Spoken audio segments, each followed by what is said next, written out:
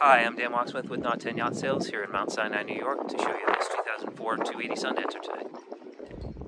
All right, we'll take a spin around the outside first. This boat appears to be in very nice shape.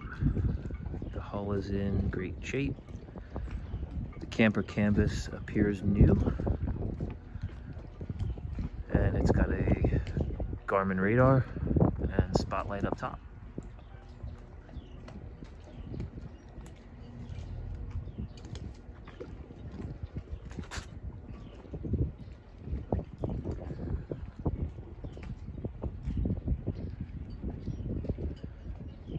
Looks like a very nice boat.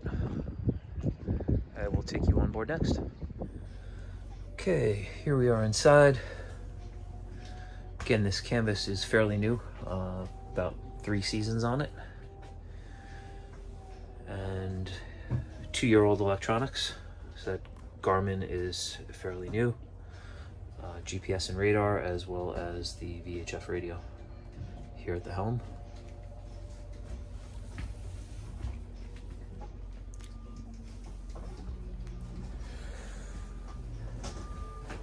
Plenty of nice seating here in the aft with a removable table. Uh, this seat also folds out to meet uh, the back seat for a nice lounge. As well as a uh, walk-through with steps to the forward deck.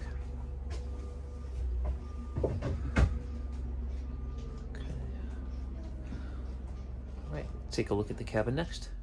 Okay, here we are in the cabin. Got a galley with a fridge, microwave sink, and electric stovetop.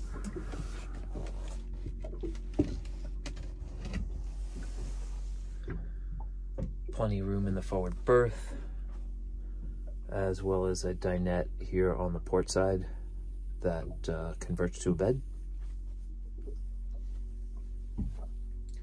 Pretty roomy aft cabin here, down below.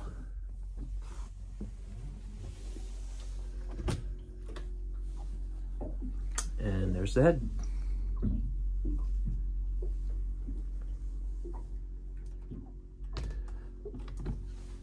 Okay, again, this is Dan Wachsmuth from Knot 10 Yacht Sales, and this is a 2004 280 Sundancer. Thanks for watching.